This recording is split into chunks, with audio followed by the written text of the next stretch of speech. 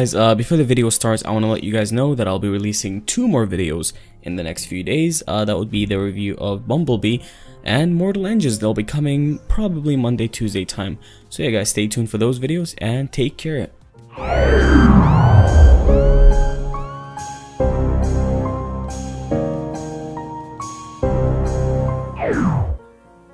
Alright guys, so today we'll be looking at the film Aquaman, directed by James Wan, starring Jason Momoa, Amber Heard, and a bunch of other people, which, let me just say, it's endless. I didn't even realize that there were a lot of people in this movie, but there are a lot of people, so let's get straight into the good. Alright guys, so we're to start off with the hand-to-hand -hand combat in this movie. So just strictly talking about the hand-to-hand -hand combat where we've got two people, or three, or four, or five, doesn't matter, fighting close by in close range, that was actually pretty good in the movie. It was handled great. The framing was actually pretty good. Both people in shot. The camera was never rapidly cutting. We don't have these this crazy editing or you know people the camera hiding behind somebody's back or you know clearly hiding a stunt actor or anything like that. The fight scenes were actually really well choreographed and filmed. Uh, well done. I'm not going to talk about the actual, you know, CGI battles, I'll talk about that later in the review, but just now, strictly talking about the hand-to-hand -hand combat with just a few people fighting and all that kind of stuff, it was actually pretty good. I liked it. It was very entertaining. So the next great thing about this movie is actually the structure of the scenes and the way the way the scenes are laid out. So, you know, which scene comes first, how they how they're essentially the storyboarding of the movie. It's done really well. I'm not to lie there's you know it's not it's not an obvious you know beginning middle end kind of story because when we saw the trailers we obviously see him as a kid and you know we see him as a teenager and then adult so what we're thinking is that it's going to be beginning middle end him as a kid and then a teenager and then an adult. That's not how it's structured. Actually it's actually you know it's it's the the movie starts with him as an adult but it just carries on like that. It just cuts between his past in really interesting ways. I'm not going to tell you how it does it the way it cuts to his past, it's not like it just cuts. It integrates the current scene that we're in to the past scene. So which is it's kind of like what's happening in the past is kind of reflecting what's happening in the current time, which is actually done really well. It's actually I've never seen that done before in any movie, so kudos to you, uh, James Wan. Great job. Uh, aside from that, yeah, the structure is done. The structuring, sorry, is done really well. Beginning, middle, end. All that's great. Now, similarly to my review of Spider-Man Into the Spider-Verse, I mentioned the pacing and I talked a little bit about how pacing is supposed to be thought of and you know, it's not slow pacing is not bad, fast pacing is not bad. Any pace can be good as long as it's done well.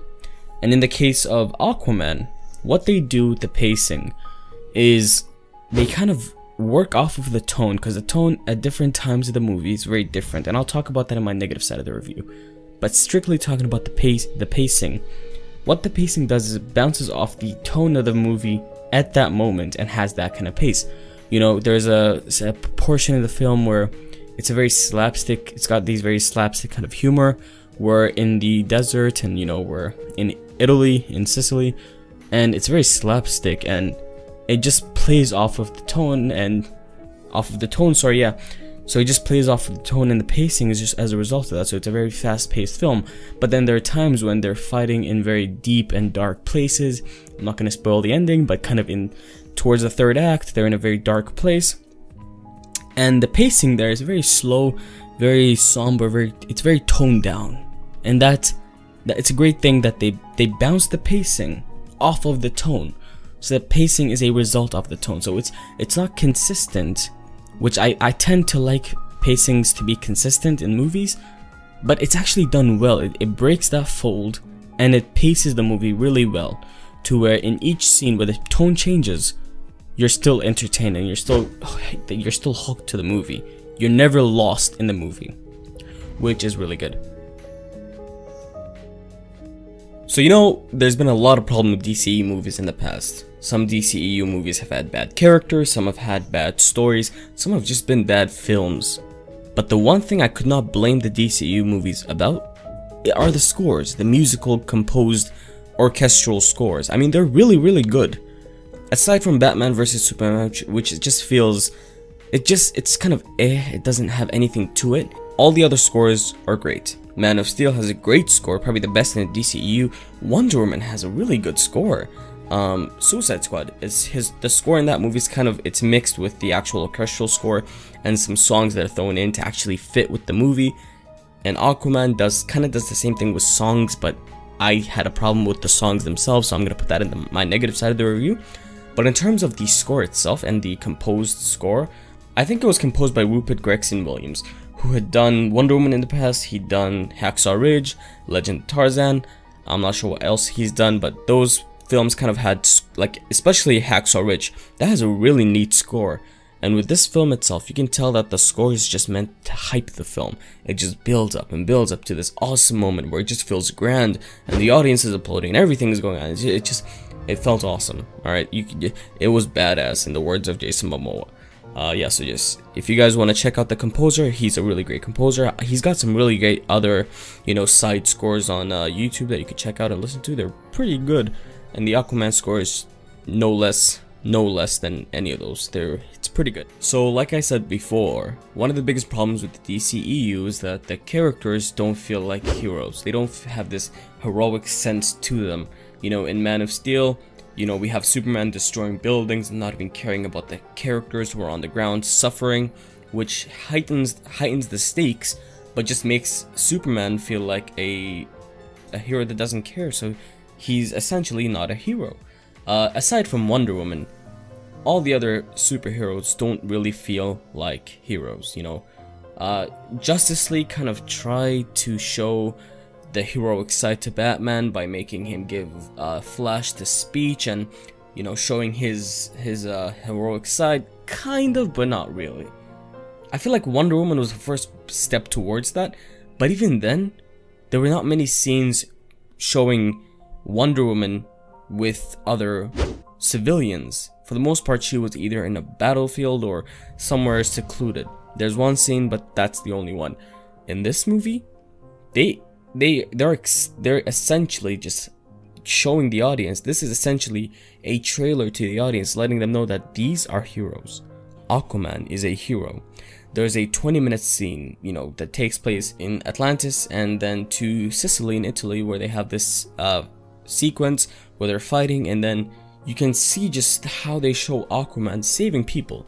He goes out of his way, he's getting hit in, like he's getting punched in the back, but he's still helping kids up and he's helping adults and he's helping grandmas and saving kittens from trees. You know, this, this, this is the hero heroic side to Aquaman that we needed to see so we could connect to him and we did connect to him through this movie and that's something that I have got to praise James Wan for is that he brought the you know people often say that the problem with the DCEU is that it's dark and I disagree.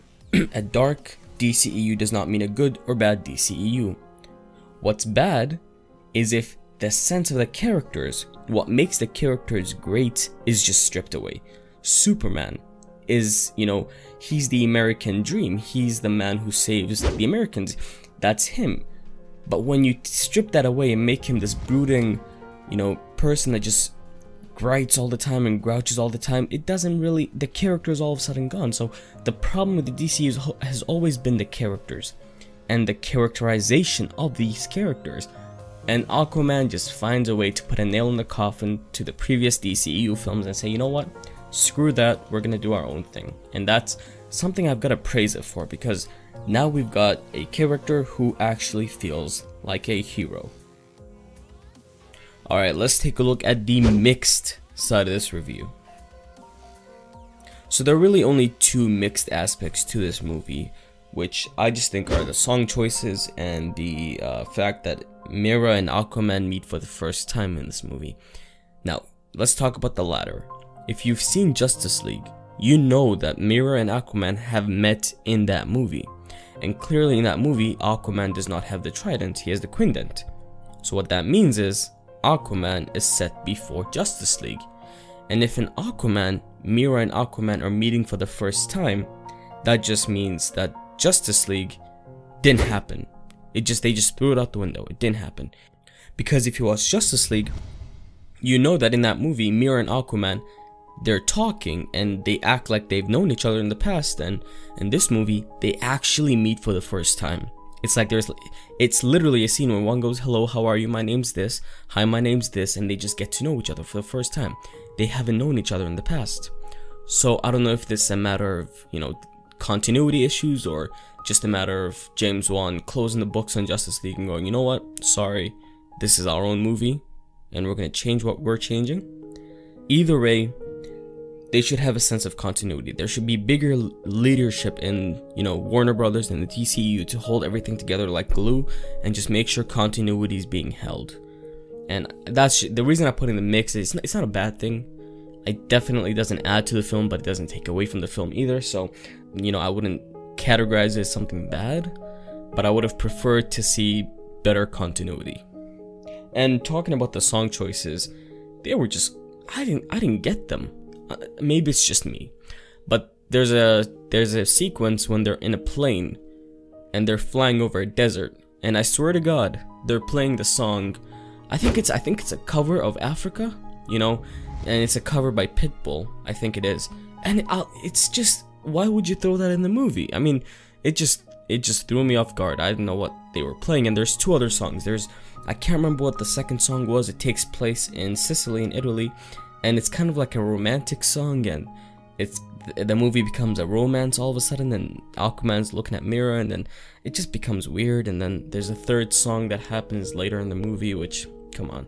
The song choices they didn't, they didn't like I said they don't, they don't add to the movie but they don't take away from the movie either so they just did not add to the movie at all. Okay now let's take a look at the negative side of this review. You know I think all the villains in the DCEU have been terrible except Man of Steel who had Zod. Going into Aquaman, I had faith in them because, you know, going in we knew that the uh, that the main villain King, King Orm would be Aquaman's half brother, so there could be something there. But it just they did not give the right amount of time to these characters. I think in total we spent like 20 minutes of screen time with both villains combined. Man Black Manta did not even deserve to be in this movie. He was given like 3 minutes of screen time. And King Orm just, he was just a mustache twirling villain who just came in for the bad scenes and then walked right out because they did not have the time to designate to him. I've heard Kevin Feige in the past say that the reason Marvel has bad villains is because they focus on the protagonists and they leave the antagonists aside. And I think that's showing in the DCU where they're focusing on the protagonists. You know, in Wonder Woman, they focus on Wonder Woman. In Justice League, they focus on the Justice League. And in this movie, they focus on Aquaman. But they do throw the villains to the wayside. And I think that there is a blend. Marvel has been showing the blend rate lately with, you know, Black Panther. I think that Black Panther had the best villain in the MCU. I think that Infinity War has a really great villain. I think that even Ant-Man and the Wasp had a really good villain. I think that Marvel has gotten the pace where they can have good villains and good heroes. And by good, I mean well developed characters. In the DCEU, they haven't gotten that vibe yet. So they just need to get on a roll and just see where it takes them, and eventually they will get that villain uh, problem worked out. But so far, I think they just did not even focus on the villain for this movie because, you know, Black Manta has nothing to do in this movie. You might as well replace him with any character, and it would have been the exact same story. So he was essentially inconsequential and King Orm just did, did not have enough screen time for me to care about him. They tried to make us care, but they should have given him more screen time, given a backstory there. Because they do give, they do try to get us to empathize with him, but we can't empathize with something that we don't know though. So they should have given a little bit more screen time to King Orm and thrown Black Manta out of the movie, just given the screen time to King Orm so we could connect to the character even more for that, you know, heartbreaking ending. But I digress. Could have been better, but whatever. It's whatever it is. Alright kids, out of the subjective scale, this movie is the $10, $10 deal. deal. Alright guys, I want to thank you guys so much for checking this video out. Uh, make sure you subscribe, make sure you like this video, comment down below. Um, I'll be uploading another review tomorrow. That will be Mortal Engines. Uh, it's coming out tomorrow, 5 o'clock uh, Central Time. So yeah, stay tuned for that. Take care, guys. Same year I bought a crib too. Now my face in magazines I used to flip through. And my music on all the sites I used to sift through. Remember meeting Nas for the first time. Shook his hand and he started quoting my lines.